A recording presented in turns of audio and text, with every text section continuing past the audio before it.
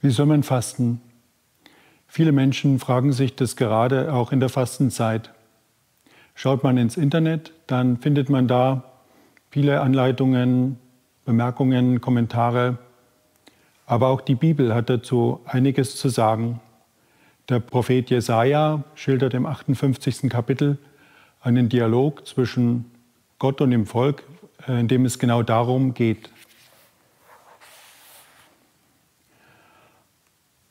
Warum fasten wir und du siehst es nicht?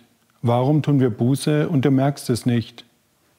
Darauf antwortet Gott, obwohl ihr fastet, gibt es Streit und Zank und ihr schlagt zu mit roher Gewalt.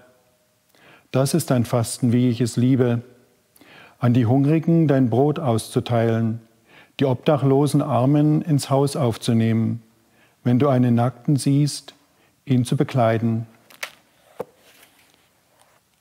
finde es bemerkenswert, was Jesaja da berichtet. Fasten ist mehr als nur der Verzicht und die Einschränkung bei Nahrung und Genussmitteln. Es kommt darauf an, sich Gott zuzuwenden. Es kommt darauf an, wie wir miteinander umgehen, liebevoll miteinander umzugehen. Und es kommt darauf an, den Armen, den Schwachen, Kranken, dem Hilfedürftigen zu helfen.